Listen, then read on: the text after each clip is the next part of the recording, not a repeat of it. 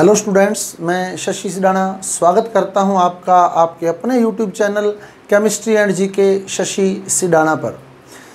साथियों, हमारे कक्षा 12 रसायन विज्ञान, JET ICAR REET level one, REET level two, पटवार व अन्य प्रतियोगी परीक्षाओं में सामान्य विज्ञान संबंधी व्हाट्सएप ग्रुप बनाए गए हैं, जिसमें उस कम्पिटिटिव एग्ज़ाम से या क्लासरूम से संबंधित वीडियो जो होता है, वो सेंड कर दिया जाता है। डेली लेक्चर नियमित रूप से एवं टेस्ट भेजे जा रहे हैं, उसमें वीकली टेस्ट भेजे जा रहे हैं। यदि आप भी इस ग्रुप में जुड़ना चाहते हैं तो हमारे mobile number double nine two eight seven eight two nine zero five double nine two eight seven eight two nine zero five पर अपना मैसेज करें, नाम व पता लिखकर आपको संबंधित ग्रुप में जोड़ दिया जाएगा।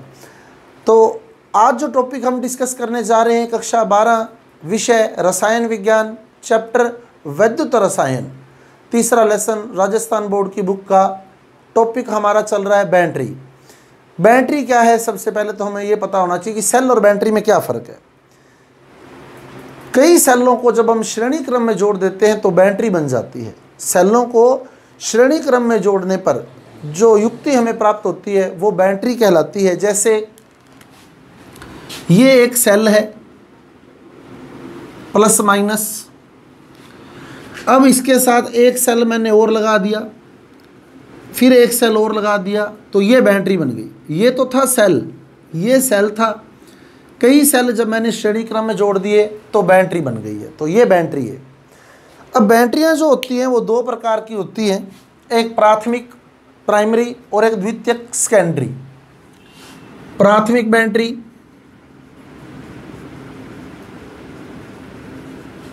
और दूसरी द्वितीयक बैटरी प्राथमिक बैटरी और द्वितीयक बैटरी प्राथमिक बैटरी और द्वितीयक बैटरी में क्या फ़र्क है? प्राथमिक बैटरी वो बैटरी होती है जिसे हम चार्ज नहीं कर सकते। एक बार यूज़ करने के बाद यदि ये हमें करंट देना बंद कर गई है तो हमें इसको फेंकना ही पड़ेगा। इसकी जगह नई बैटरी यानी नए सेल श्रेणी क्रम में जोड़ने पड़ेंगे। बैटरी क्या है? सेल है, श्रेणी क्रम में जुड़े हुए। जैसे आपको उदाहरण दे दूँ। जो हमारी घड़ी है, घड़ी के अंदर जो सेल डला होता है, घड़ी में एक ही सेल होता है, वो प्राथमिक सेल का उदाहरण है। प्राथमिक सेलों को अगर हम श्रेणी क्रम में जोड़ दें तो प्राथमिक बैटरी बनती है। अब प्राथमिक सेल क्या होते हैं, जिन्हें हम चार्ज नहीं कर सकते, एक बार हमने काम में ले लिया उसको, और वो सेल जो होगा, वो धीरे धीरे करंट देना बंद कर जाएगा, उसमें जो रसायन भरे हुए हैं केमिकल भरे हुए हैं, वो सारे के सारे यूज़ हो जाएँगे तो हमें वो फेंकना पड़ेगा। वहीं द्वितीयक बैटरी वो होती है जिसे हम चार्ज कर सकते हैं, जैसे हमारा इन्वर्टर। हमारा इन्वर्टर जो है वो एक द्वितीयक बैटरी का उदाहरण है। इसको टाइम टू टाइम हम लोग चार्ज कर सकते हैं। अब बात करें हम प्राथमिक बैटरी की तो प्राथमिक बैटरी जो होती है, इसमें रसायन भरे होते हैं, यानी रासायनिक ऊर्जा होती है, और ये इसको विद्युत ऊर्जा में कन्वर्ट करती है। रसायन भरे होते हैं इसमें, यानी कुल मिला के ये रासायनिक ऊर्जा को विद्युत ऊर्जा में कन्वर्ट करती है। और जैसे जैसे ये रसायन समाप्त होते जाते हैं, ये बैटरी काम करना बंद कर जाती है। द्वितीयक बैटरी वो बैटरी होती है जो रासायनिक ऊर्जा को विद्युत ऊर्जा में बदलती है एवं विद्युत ऊर्जा को पुनः रासायनिक ऊर्जा में बदलती है। जैसे हमारा इन्वर्टर द्वितीयक बैटरी है। जब लाइट चली जाती है तो वो उसमें जो रसायन भरे हैं, उसको विद्युत ऊर्जा में बदलने लग जाता है। और जैसे ही लाइट वापस आती है, वो विद्युत ऊर्जा को रासायनिक ऊर्जा में बदलने लग जाता है। इस प्रकार हमारा इन्वर्टर द्वितीयक बैटरी है। क्लियर रासायनिक ऊर्जा को विद्युत ऊर्जा में बदलता है और विद्युत ऊर्जा को रासायनिक ऊर्जा में भी बदलता है। कुल मिला के इसमें होने वाली अभिक्रिया अनुत्कर्णीय होती है, यानी एक ही दिशा में चलती है। अनुत्कर्णीय मतलब एक ही दिशा में चल रही है। और इसमें होने वाली अभिक्रिया उत्कर्णीय होती है, यानी दोनों दिशाओं में चलती है। तो दोनों दिशाओं में चल रही है। रासायनिक ऊर्जा विद्युत ऊर्जा में बदल रही है, विद्युत ऊर्जा रासायनिक ऊर्जा में बदल रही है। क्लियर? इसमें एक ही डायरेक्शन में चलेगी। अब इसमें जो हम एग्ज़ाम्पल डिस्कस कर रहे हैं, दो एग्ज़ाम्पल हमारी किताब में दिए हैं इसके। एक तो प्राथमिक बैटरी के एग्ज़ाम्पल डिस्कस कर रहे हैं हम। शुष्क सेल और दूसरा मरकरी सेल शुष्क सेल या लेकलांशे सेल लेकलांशी या लेकलांशे, शुष्क सेल या लेकलांशी सेल और दूसरा मरकरी सेल सबसे पहली बात करें हम शुष्क सेल की। तो शुष्क सेल की स्ट्रक्चर देख ले पहले हम, फिर क्रियाविधि डिस्कस करेंगे इसकी। तो शुष्क सेल में जस्ते का बना, जस्ता यानी जिंक जिंक का बना एक आवरण होता है जो एनोड का काम करता है। जिंक का बना आवरण है जो एनोड का काम करता है। इसके बीचों बीच कार्बन की एक छड़ लगी होती है जो कैथोड का काम करती है। तो ये जो कार्बन छड़ है, ये कैथोड का काम करती है। जिंक के आवरण के ठीक पीछे की ओर, जिंक के आवरण के बिल्कुल पीछे, यानी इस स्पेस के अंदर यहाँ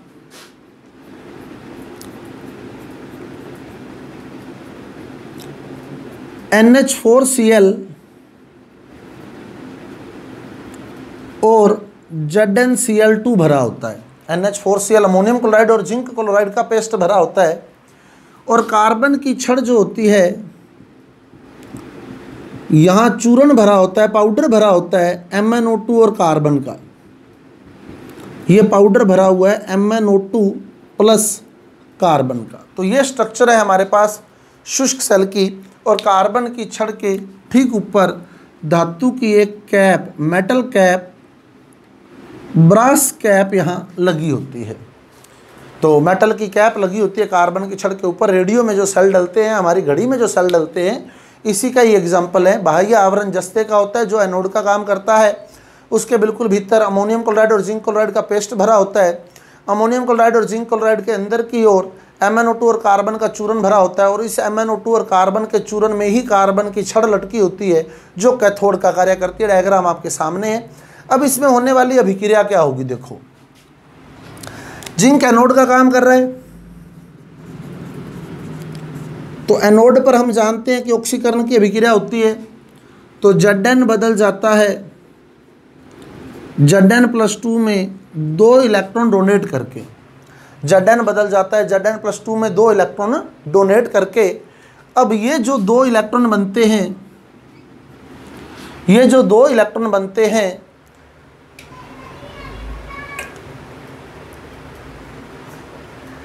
ये जो दो इलेक्ट्रॉन यहाँ बने हैं, ये अंदर की ओर स्थित अमोनियम आयन से क्रिया करते हैं।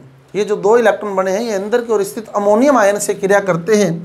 तो एन एच फोर प्लस से जब ये दो इलेक्ट्रॉन क्रिया करते हैं, अब इस पे प्लस वन है, ये माइनस के दो हो गए तो यहाँ दो इलेक्ट्रॉन दो इलेक्ट्रॉन क्रिया करेंगे।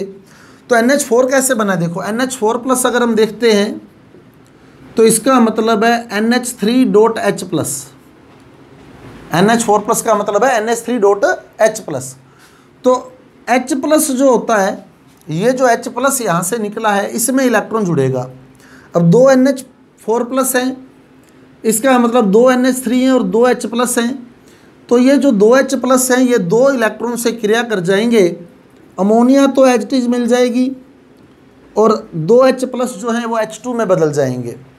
तो अमोनियम आयन इस इलेक्ट्रॉन से क्रिया कर जाते हैं, अमोनिया और हाइड्रोजन बन जाती है। अब यहाँ जो हाइड्रोजन बनी है, ये तो अंदर जाकर MnO2 से क्रिया कर लेती है। ये जो हाइड्रोजन बनी है, ये अंदर जाकर MnO2 से क्रिया कर लेती है। और ये जो अमोनिया बनी है, ये इस जेड एन प्लस टू से क्रिया कर जाती है। तो हाइड्रोजन किससे क्रिया कर गई? MnO2 से।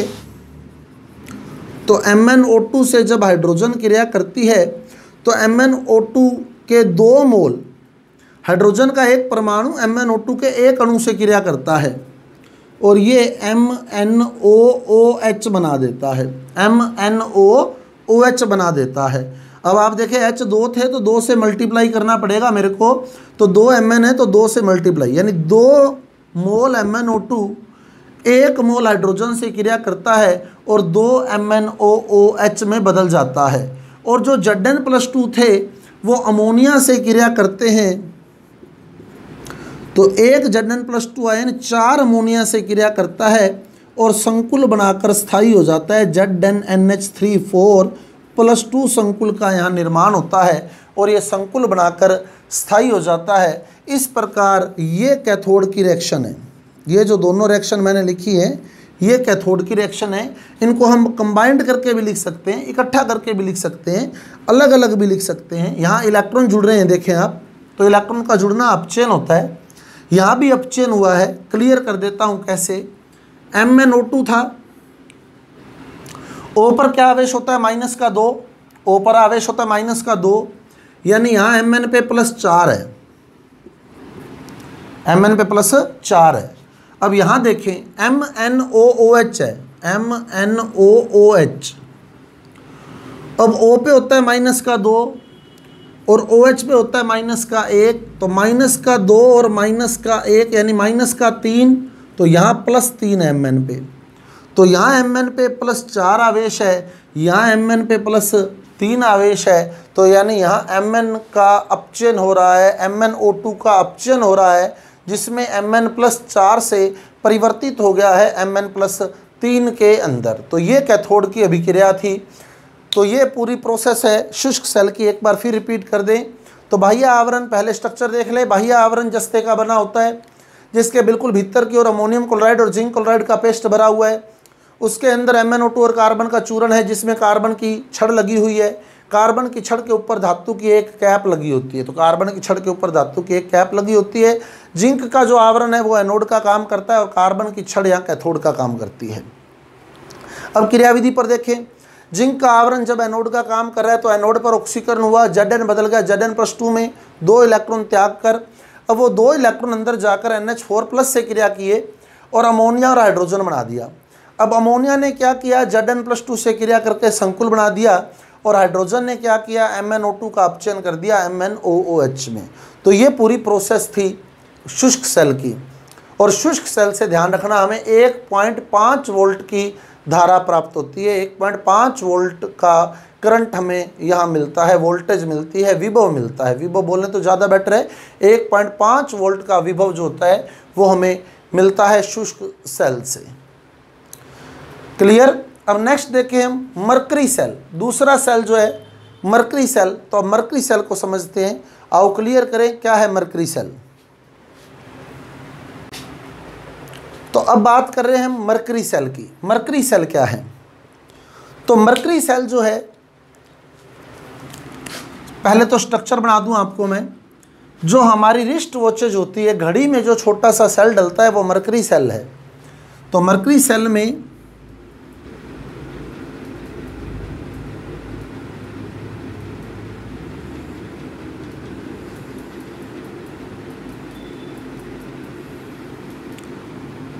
ऑलमोस्ट ये शेप होती है मरकरी सेल की। ये मरकरी सेल है। अगर इसको मैं यहाँ से कट करूँ तो इसके अंदर से तीन लेयर निकलेंगी। ये मान लो कट कर दिया इसको तो इसके अंदर जो तीन लेयर हैं, उन लेयर को देखें हम लोग। तो सबसे पहले तो इसके अंदर जो पहली लेयर है, वो है जडन की। जडन यहाँ एनोड का कार्य करता है, जिनकी पहली लेयर है। और जो लास्ट लेयर है, तीसरी लेयर है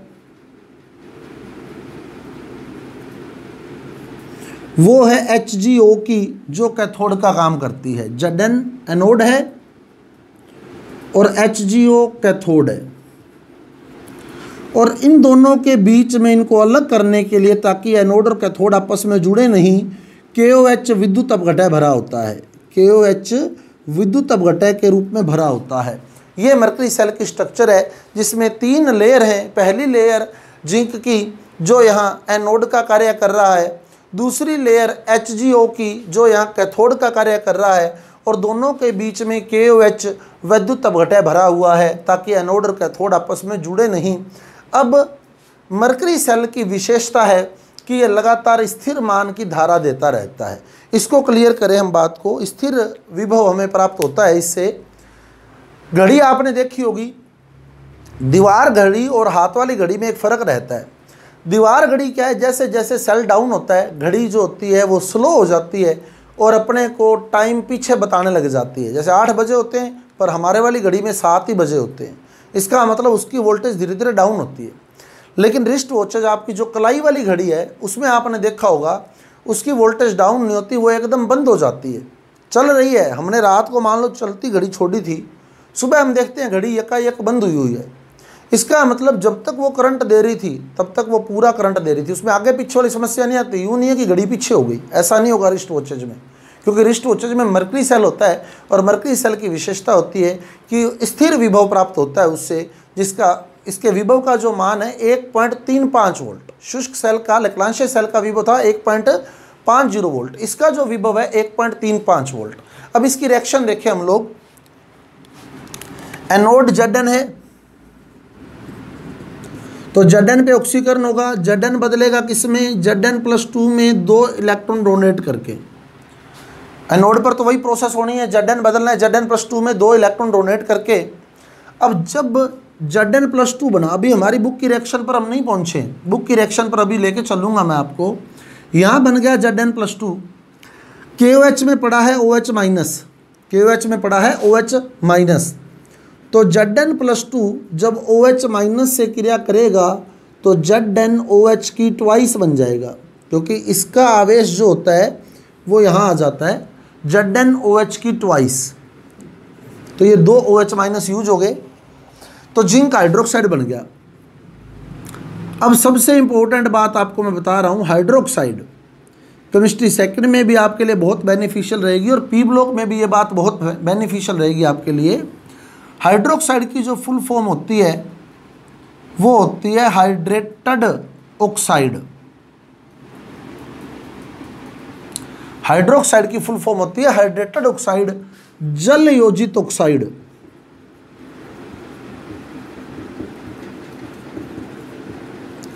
यानी जल योजित ऑक्साइड हाइड्रोक्साइड जो होता है, वो जल योजित ऑक्साइड होता है.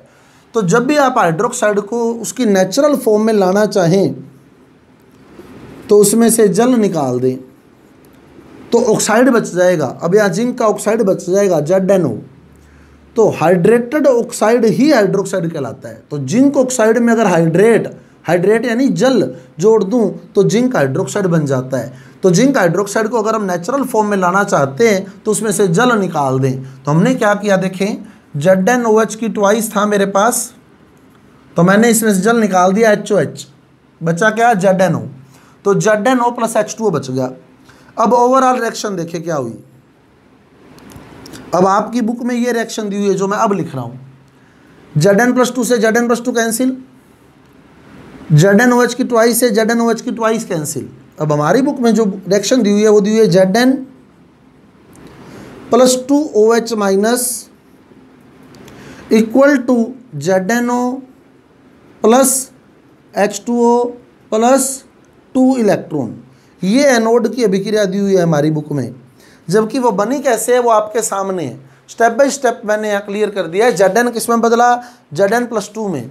तो जब यहाँ जेड एन प्लस टू बने तो वो ओ एच माइनस से क्रिया करके जेड एन ओ एच की ट्वाइस बना गए। जेड एन ओ एच की ट्वाइस बना गए। जेड एन ओ एच की ट्वाइस का मतलब क्या है? Z N O plus H two O result निकालोगे तो आपको एनोड की अभिक्रिया यहाँ प्राप्त हो जाएगी। तो इस प्रकार एनोड पर जो अभिक्रिया हुई, क्या हुआ? Z N plus two O H minus equal to Z N O plus H two O plus two electron ये हमारे मरकरी सेल की एनोड की अभिक्रिया है। अब हम कैथोड की अभिक्रिया लिखेंगे। तो कैथोड की अभिक्रिया अगर हम इस पर लिखना चाहते हैं कैथोड पे क्या होगा? देखो एनोड के बिल्कुल अपोजिट रिएक्शन कैथोड पे होगी एनोड के बिल्कुल अपोजिट रिएक्शन एनोड के बिल्कुल अपोजिट रिएक्शन होगी कैथोड पर। निहा लिख देता हूँ। एनोड पे क्या हुआ? Z N plus two O H minus equal to Z N O plus H two O plus two electron अब आप देखें कैथोड था किसका? एच जी ओ का। तो यहाँ जो जेड एन ओ बना जेड एन की जगह आप एच जी लिख दें तो ये एच जी ओ बन गया। एच जी ओ का कैथोड था। बस जेड एन की जगह एच जी लिख दो और रिएक्शन उल्टी लिख दो। कैथोड की रिएक्शन अपने आप आ जाएगी।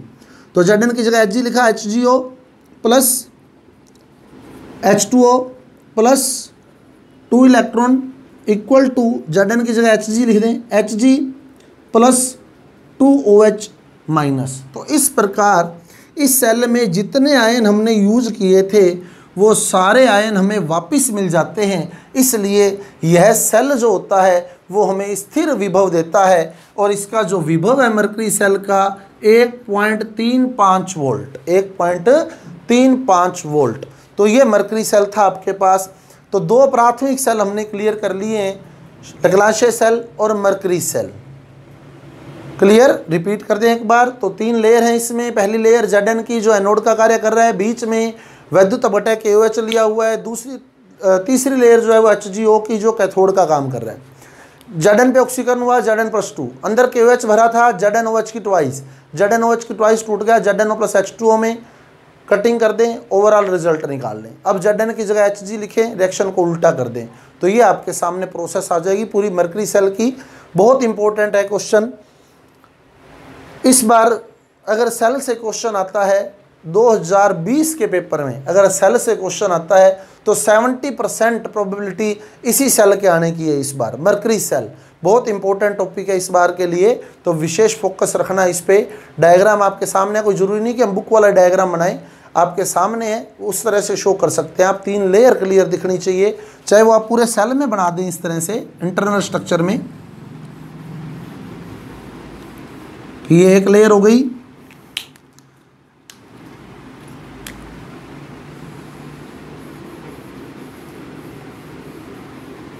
ये दूसरी लेयर हो गई और ये बीच में के भरा है, तीसरी लेयर हो गई। तो इस तरह चाहे आप पूरे सेल में दिखा दें, उससे फ़र्क नहीं पड़ेगा कोई। तीनों लेयर क्लियर होनी चाहिए, कोई ज़रूरी नहीं है कि बुक वाली क्रैमिंग ही करें हम लोग। उम्मीद करता हूँ आपको समझ आ रहा होगा। मैं